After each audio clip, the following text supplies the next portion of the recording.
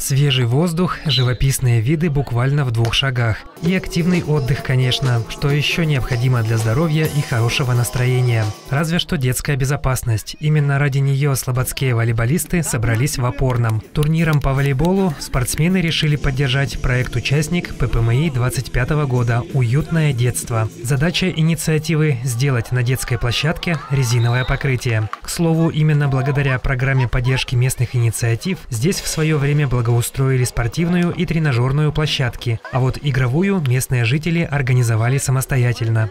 Команды формировались волей случая. Мы набрали 36 человек, Компьютер распределил 36 э, человек по 6 командам, и дальше эти 6 команд точно так же распределились по группам. Группа А, группа Б. Дальше сильнейшие выходят, играют за первое место, за второе, ну и, соответственно, за третье. Попробовать свои силы в турнире решили 6 команд. В каждой 6 игроков. Почти все уже второе лето собираются на тренировки с завидной регулярностью по вторникам и четвергам. Свое движение организовали волейбольное, и у нас э, второй турнир, и очень хорошо играем.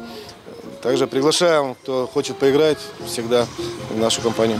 Игра в удовольствие и настоящая кардиотренировка. Так оценивают свои встречи поклонники волейбола. Результативность подобного любительского спорта действительно приближена к золотой середине. Я играю в волейбол э, не, не так уж и давно, э, примерно года с 19 -го.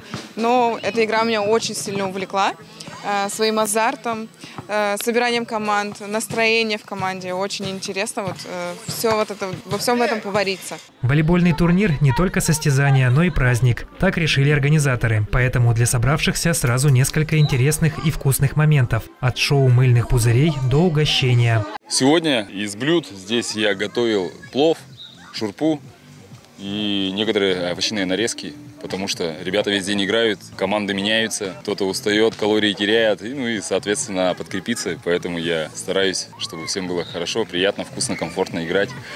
Ну и были сыты, довольны. Завершающий аккорд праздника – чествование победителей и вручение спонсорских призов. Организаторы мероприятия надеются, к подготовке проекта ППМИ и его реализации слобожане подойдут также активно.